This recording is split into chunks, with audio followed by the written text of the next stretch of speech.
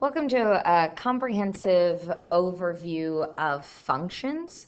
Uh, we're going to cover a lot of the topics you saw in Algebra 1 and in Algebra 2, starting with what makes a function. So here are a whole bunch of examples with functions that you've seen before. Maybe you remember that in order to determine whether something is a function, all you got to do is take a vertical line and move along the function. And as long as that function only has, only touches one point on the vertical line at a time, then something is a function. That's the very basic visualization. It's called the vertical line test. And so at each x value, so if you see here on the quadratic, for each x value at x equals 1, it, there is one corresponding y value. So for each x value, there's exactly one corresponding y value. So if you're following along on your worksheet, a function is a correspondence between two sets, where each element in the first set of x values is called the domain, and it corresponds to exactly one element in the second set, uh, our y values, which is called the range. So a function here is an input and output situation. We input an x value and we get an output of a y value. So when calculating the domain of a function, there are primarily two constraints to consider. Hopefully this is review. We first have to examine what makes the denominator of a function equal to zero the denominator of a function can never equal zero. I use the expression, thou shalt not divide by zero. So dividing by zero is undefined, or you could even consider it as an infinite possibilities, but you you cannot divide by zero. So we have to make sure if a function has a denominator, we exclude any values that would make that denominator equal to zero. Then the other scenario we are going to look at is if there is an even root or an even radical, the equation under the root sign must be greater than or equal to zero. It is okay to take the square root of zero. The square root of zero is just zero. The even root of a negative number is imaginary.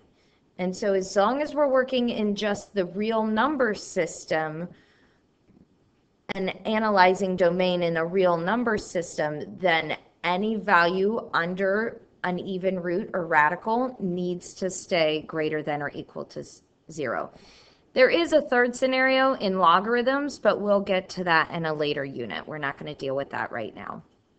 So let's look at some examples. If we are considering these two rules, and we have our first example A of a function that is equal to 1 over x minus 3, and we know that the denominator can never be equal to zero, then I know three has to be excluded from my domain. Therefore, the domain of the function of f is all real numbers except 3. We're going to be using interval notation, and that's how I'm going to write it. So I'm going to use parentheses around negative infinity around and positive infinity. And then I'm also going to use a parentheses around 3. The parentheses saying is that I can't capture 3 in the domain. It's all real numbers except taking a break at 3 on the number line. Example B has function g of x equals the square root of x plus 4. So the function is under an even root. So this x plus 4 value has to be greater than or equal to 0. So even roots of negative numbers are imaginary. Therefore, the domain of g of x must exclude any number that is less than negative 4.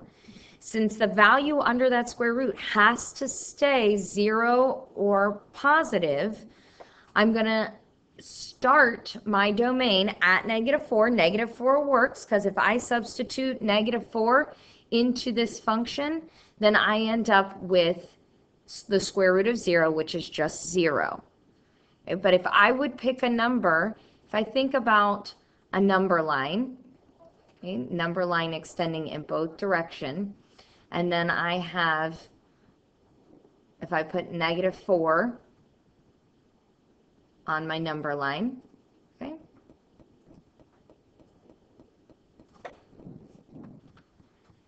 So I have negative 4 on my number line. Anything above negative 4, including negative 4, will work in this equation.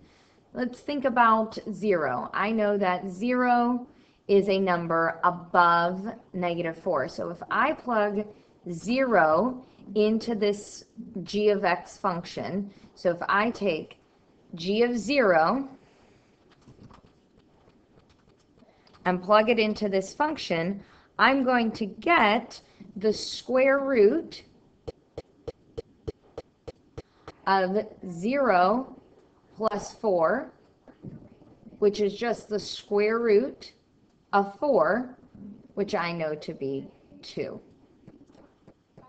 Let's try a number that's left of negative 4 on the number line. So let's try plugging in negative 5. So if I look at g of negative 5, that's going to be equal to the square root of negative 5 plus 4, which is the square root of negative 1, which we all know to be the imaginary unit i, which is not in the real number system. So that's why our domain is going to start at negative 4 and go up to positive infinity. We can see that on the number line, starting at negative 4 up to positive infinity. Pay close attention to your brackets here. I have a bracket around negative 4. That's because it is included in the domain. I have a parentheses around infinity because you can't actually capture infinity. So why don't you try these? Go ahead and pause the video right now and analyze what you believe the domain would be, and then try to write your domain in interval notation. Pause the video before, before you look at the answers. Did you pause it? All right, well, welcome back. Here are the answers to these two problems, A and B. if you have questions, make sure you talk to your teacher about why you're not getting these answers. Let's talk about domain with function operations. So if you are adding and subtracting or multiplying functions, so in the examples up here, f and g are being added, subtracted, and multiplied, you're just going to combine the domains of the functions for every op operation except for division. Well, why except for division? Because when we divide functions, one of our functions is now in the denominator. So now we have to also exclude any value that would make that denominator equal to zero, which is something we just talked about. So let's try a couple of examples here. We're going to evaluate f at negative 3 plus g plus h at 2. So what does this look like? So f of negative 3, when I substitute negative 3 into the f function, I end up with 37. If I keep, sorry, if I keep clicking here and I substitute 2 into the g function and 2 into the h function, I end up with 8 once I substitute all those values in and evaluate. So that means if I'm adding these two together, 37 plus 8 is going to equal 45. And that's our final answer to this expression. We get 37 plus 8, which is a sum of 45. In B, we're going to evaluate f divided by g at a value of 2. So I'm going to substitute 2 into the f function. I'm going to substitute 2 into the g function and evaluate. I end up with 32 over 1, which is just 32.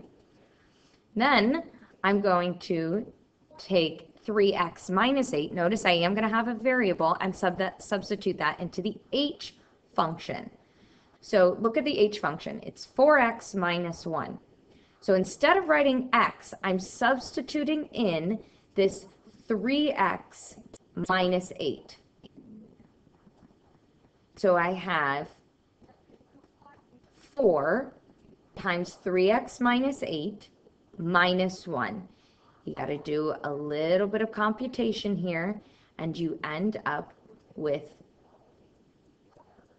20, 12x minus 33. Combine that with the 32, and you get a final answer of 12x minus 1 when you put it all together.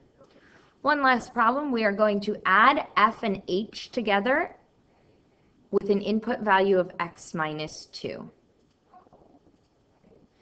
So f at x minus 2, this is a quadratic, so I'm going to have to work with that, plus h times x minus 2.